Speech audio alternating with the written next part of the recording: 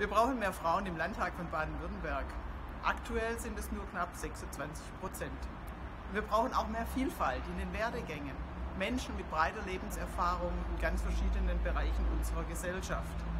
Elvira Nägele, unsere Landtagskandidatin der FDP im Wahlkreis 14 Bietigheim-Bissingen, ist eine solch tolle Kandidatin.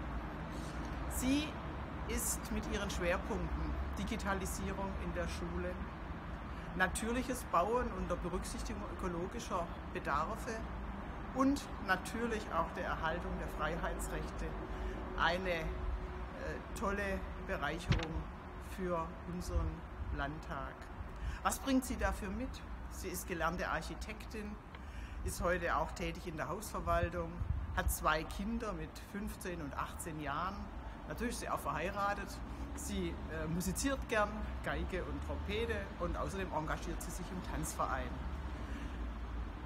Ihr Credo, frei in eine lebenswerte Zukunft. Ich glaube, dafür steht Frau Nägele mit ihrer ganzen Persönlichkeit und äh, ich glaube, sie wäre eine gute, starke Stimme im Landtag von Baden-Württemberg.